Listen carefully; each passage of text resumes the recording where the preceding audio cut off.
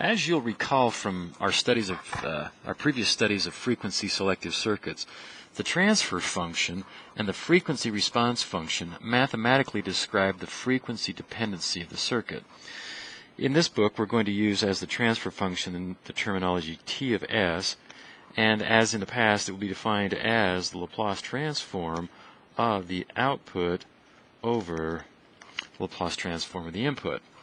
Now, these simple single time constant circuits, we can determine that transfer function using voltage divider um, and define, devi defining the output voltage as the voltage across the capacitor. So we'll recall then that the impedance in the Laplace domain, the impedance of the capacitor is 1 over SC, and we can then go ahead and write using voltage divider that V out of S is equal to V in of S times the impedance of the capacitor, which is 1 over SC, divided by R plus 1 over SC. So we then form the transfer function T of S by dividing both sides of the equation by V in, and we have V out over V in, dropping the S dependency, is equal to um, let's clean this up just a little bit and multiply numerator and denominator by the product of s times c. And in doing so, we then get the transfer function is equal to 1 over 1 plus s times rc.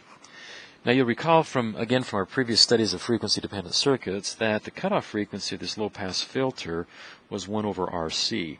And we're going to use in this class the, um, we're going to call the cutoff frequency omega naught, and that then is equal to 1 over RC. And when we do that, then this transfer function becomes 1 over 1 plus S over omega naught, the cutoff frequency. Now you'll recall that a, another common way of writing this is um, found by multiplying numerator and denominator by the cutoff frequency, and we get omega over s plus omega naught. So omega naught over s plus omega naught. Again, a standard, one of the other standard forms of writing it is to put the highest power of s in the denominator with a coefficient of 1. So these two forms are equivalent expressions for the transfer function T of S. Now, the frequency response is just T of S evaluated at S equals J omega. And when we do that, then we get um, 1 over, let's see, replacing um, S with J omega, we get 1 over 1 plus J times omega over omega naught. And because we're going to be dealing with amplifier circuits, we're going to allow for a something other than unity gain. And so we're going to write it then as k, some constant k, over 1 plus j times omega over omega naught. And as you'll recall, because this is a transfer, because this transfer function is a function of a complex variable, we can then write it in terms of its polar, or we can write it in polar form, which consists of a magnitude of t of j omega, and of course this then is t of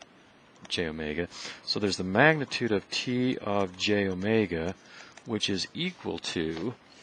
the magnitude of the denominator, which is just k, divided by the magnitude of the denominator, which is 1 squared plus omega over omega naught quantity squared. So again, the magnitude of the transfer function is found by taking the magnitude of the numerator, which was just k, and dividing it by the magnitude of the denominator, which is this square root of 1 squared plus omega over omega naught squared. And then, of course, there's the phase of the transfer of the uh, frequency response function. We're going to call that theta of j omega, which in this case, well, which is equal to the phase of the numerator minus the phase of the denominator, which in this case is the phase of the numerator is just 0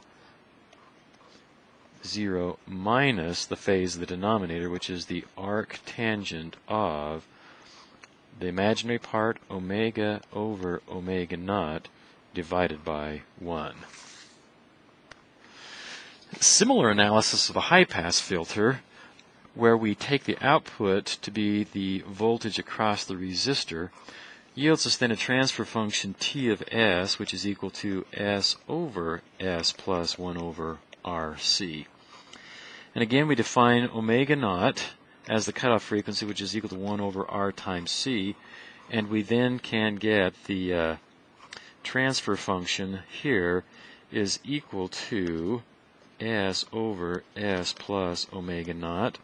Or again, the other form would be by factoring out omega naught from both numerator and denominator,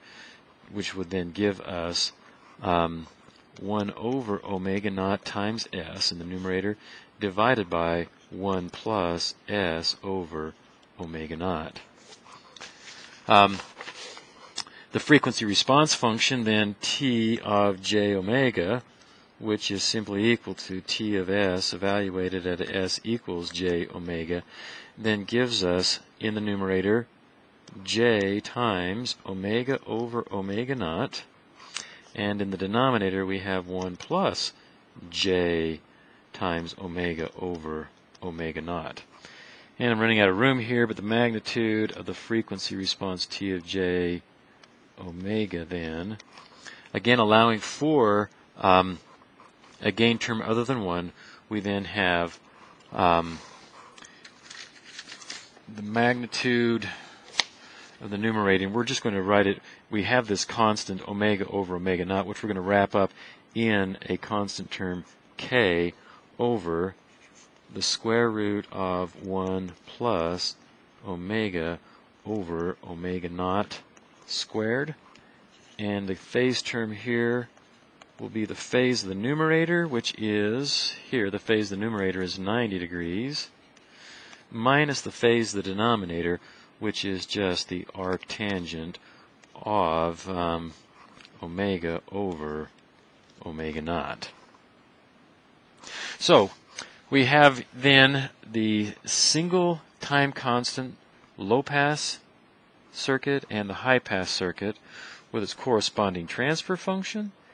and the frequency response function, which we're writing in terms of the magnitude and its phase for the low pass, and then also the magnitude and the phase for the high pass circuit.